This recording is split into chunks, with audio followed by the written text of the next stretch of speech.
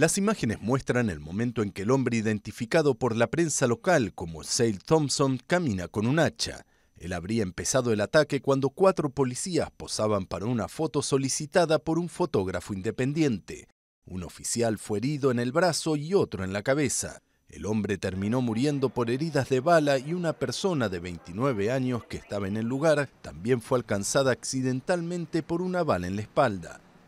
El fotógrafo colaboró con la policía y no se considera sospechoso. El comisionado de policía Bill Bratton dijo que el crimen está siendo investigado. Según el sitio de vigilancia de páginas web islamistas Site, Sale Thompson había publicado varios mensajes en YouTube y Facebook que muestran un enfoque ultra radical en los ámbitos religiosos e históricos.